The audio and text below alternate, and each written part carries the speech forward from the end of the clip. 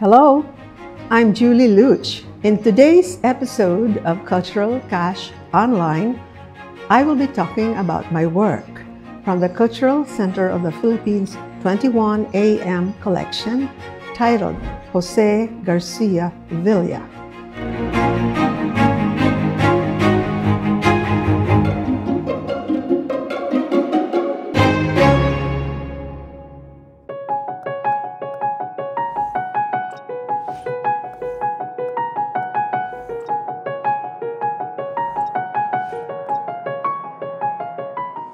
The work is a sculpture bust of Jose Garcia Villa, which I fashioned out of white ceramic clay, baked or fired in low temperature in a kiln, and then thinly painted with acrylic.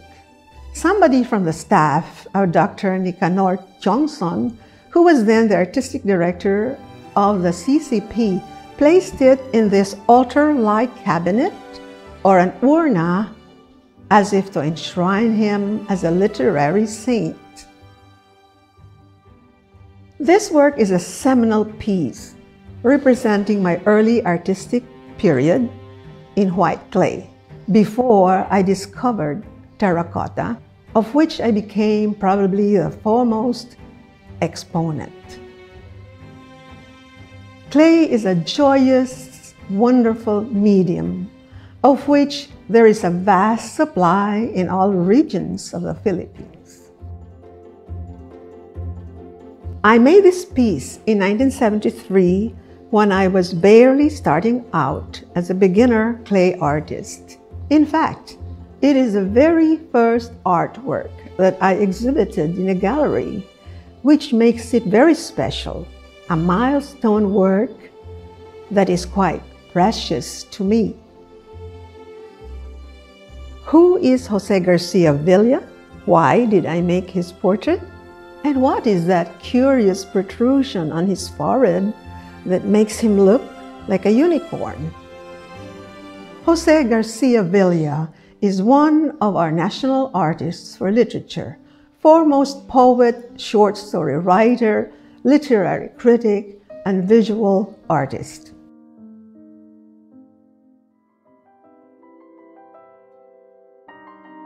He enrolled at the University of the Philippines, was a brilliant student, but was rather a rebellious and restless young man way ahead of his time.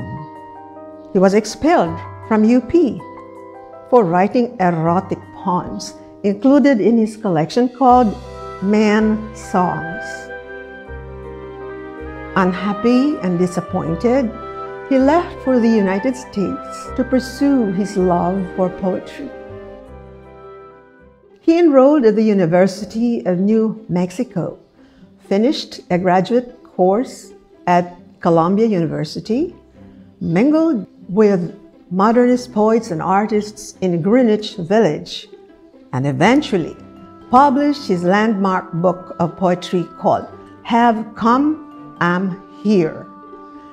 This poetry collection of his won the prestigious American Academy of Arts and Letters, which gained for this Filipino poet a welcoming entry into the rarefied enclaves of the American literati. One can only imagine how proud I was when I chanced upon a photograph of famous writers and poets posing formally in a private soiree.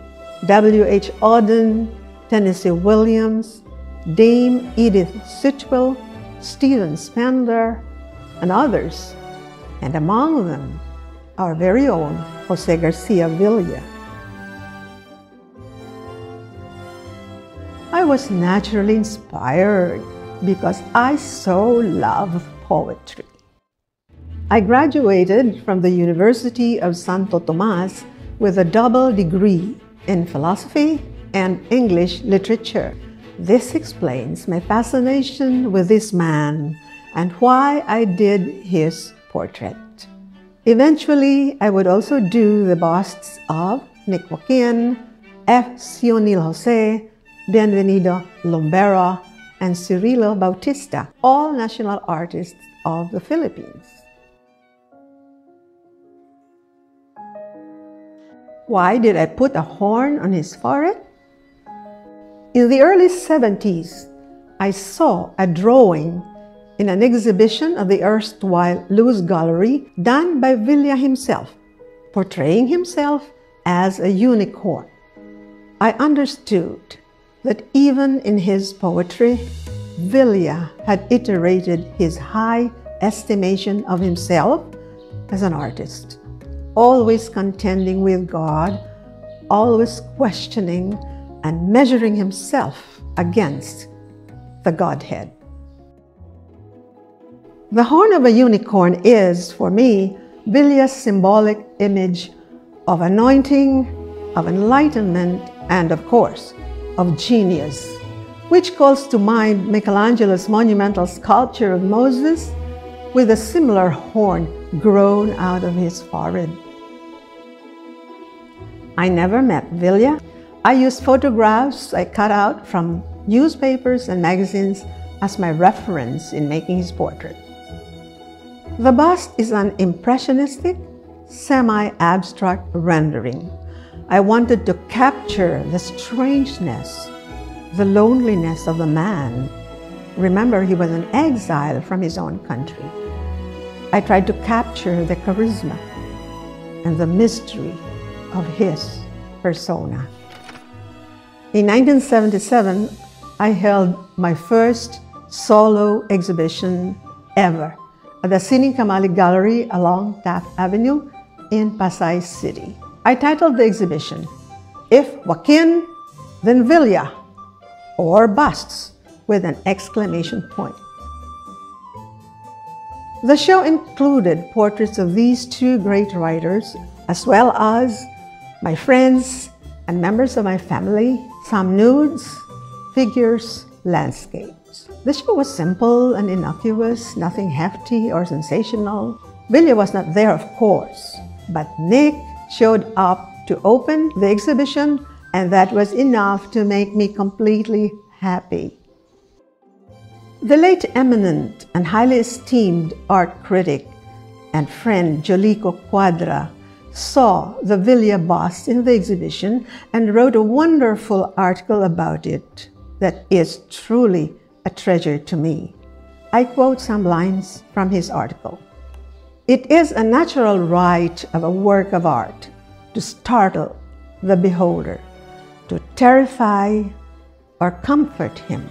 To me, this Villa bust startles. To be able to grasp whole the essence of a man and transfigure it is, open quote, to attain the spiritual dignity needed to render him a tragic figure. Close quote. And of the Villa bust, only a real artist can do such a thing. Thank you, Jolico, for this lavish praise. Thank you for joining me in this episode of Cultural Cache Online.